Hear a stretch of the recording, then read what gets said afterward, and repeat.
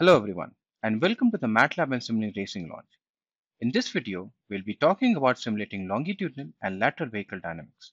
With vehicle dynamics block set, you can calculate the longitudinal, lateral and yaw motion of the vehicle. We already have a video on getting started with vehicle dynamics block set, which introduces you to all the capabilities of the toolbox. To watch the video, please check the link that is provided in the description. This video will specifically focus on calculating the motion of the vehicle. So how do you do this? To answer that, let's define our requirements. Let's consider an autonomous car where the aim is to drive it in a virtual environment and generate virtual sensor data. In other words, you want to conduct high-level software studies that are not impacted by driveline or nonlinear tire responses. On the other hand, consider a race car where you want to do the vehicle dynamics study based on the responses from the tire. Even though both cases have different requirements, the output requirement is the same, that is, to calculate the longitudinal, lateral and yaw motion. Now the question is, how can you solve the vehicle dynamics equations to calculate the motion? One of the approaches is to build a model based on the equations of motion. So using the set of equation, you can write a MATLAB code or build a Simulink model. Now how about set of blocks wherein based on the requirements, you can provide the input and calculate the motion of the vehicle along with other information such as forces and moments. But where you can find these blocks? These blocks can be found in the vehicle dynamics block set. So giving a short intro to vehicle dynamics block set, it provides fully assembled reference application models that simulate driving maneuvers in a 3D environment. The block set includes a library of components for modeling propulsion, steering, suspension, vehicle bodies, brakes, and tires. It has pre-built scenes that can be used to visualize roads, traffic, signs, trees, buildings, and other objects around the vehicle. It also consists of reference examples that you can customize by using your own data or by replacing a subsystem with your own model. However, in this video, we'll focus on the vehicle body library. These are the various vehicle body blocks depending on the applications. For example, vehicle body 1 DOF longitudinal can be used when you are performing some kind of powertrain or fuel economy studies and even drive cycle tracking studies. On the other hand, vehicle body 3DOF, dual track and single track can be used for vehicle dynamics and autonomous driving studies. Apart from that, we do have blocks for 3DOF longitudinal, 6DOF and even vehicle body total road load. For this video, we'll be focusing on the vehicle body 3DOF dual track. Having said that, now let's move further and understand the implementation of this block. The first task is to calculate the motion of an autonomous car where the input is steering angle and longitudinal velocity. So let's check out how we have modeled it in Simulink. From the Simulink library browser, we drag a 3DOF dual track block. When you double click the block, you have the option to select the input of the block. As we just want to maneuver the vehicle without impacted by the tire response, we'll select the longitudinal velocity as the input. The block also contains additional inputs to include in the blocks. In the block, the first input is the front wheel steering angles, which is a row or column vector of two elements for the left and right wheels. Now to get the front wheel steering angles, we'll add a kinematic steering. Now as the input to the 3DOF block is an array, we'll pass the wheel angle signals through a concatenate block. We'll be driving the vehicle with a constant longitudinal velocity. Further, for changing the input steering angle, we have used a knob from the dashboard. In short, this was a procedure to show how you can easily connect blocks on Simulink to build a model. Finally, here is our final model where additionally we have added a visualization block from one of the reference examples. Now let's try to run it.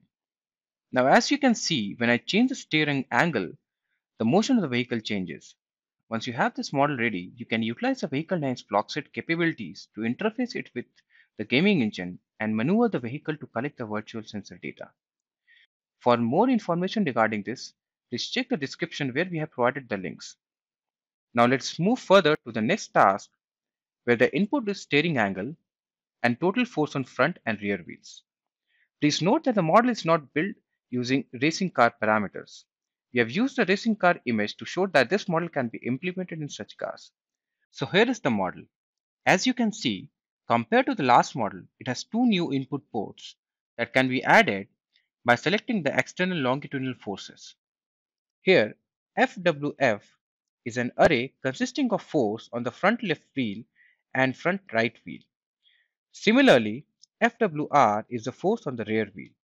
Then the input signal steering angle, brake position and accelerator position are provided by the signal editor. For simplicity of the model, we have not included the tire dynamics. Instead, we have converted the positions into forces using transfer functions. Now let's run the model and visualize the effect of changing the inputs on the vehicle motion. Now, as you can see, when you apply the accelerator, the vehicle accelerates. Whereas, when you apply the brakes, the velocity decreases. And when you steer the vehicle, see the yaw motion. Finally, this is the trajectory of the vehicle that we have obtained based on the input signals. Having seen a simplified model, let's add some more dynamics in the existing model.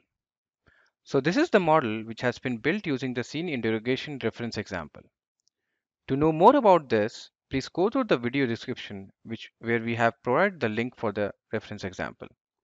Additionally, this model consists of vectorized tire model and we have also added a simplified drivetrain and brake system.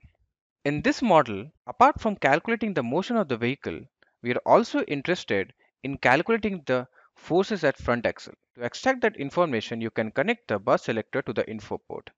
When you go inside the bus selector, you can see that apart from getting information of the vehicle motion, you can also extract information regarding forces, moments, and even power. Now, since we are interested to find the front axle force, so we have just selected that one.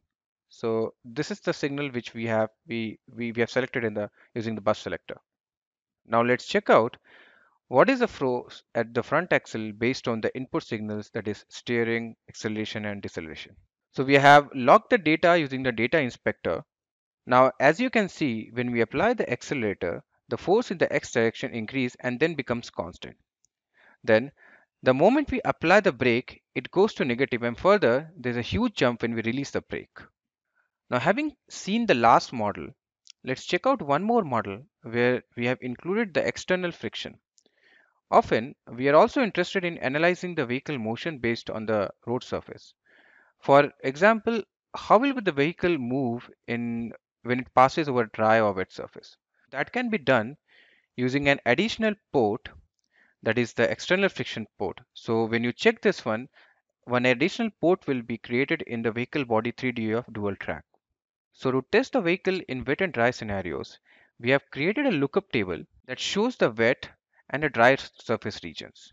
So in the plot, the yellow color represents the dry region and the blue color represents the wet region. Now in this model, apart from the vehicle motion, we are also interested in visualizing the vehicle slip angles and this info can be extracted from the info port. So now let's move ahead and check out the vehicle motion results and as well as the slip angle. So here we have compared the results when the vehicle is moving on a completely dry surface. So the vehicle starts in a dry surface and whenever it is in the wet region, it moves out and also there's a drop in the slip angle. And finally, this is the trajectory we get compared to the completely dry surface.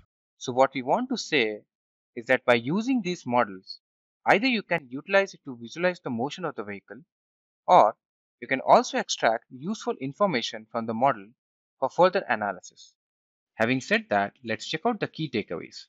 Vehicle Dynamics block set provides a standard model architecture that can be used throughout the development process. Then you have wide range of blocks that can be used to solve the vehicle dynamics equations. Also, you can extract the information from the model that can be further used for system level analysis. As usual, thank you for watching the video. Do contact us if you have any queries and check out these links for further resources.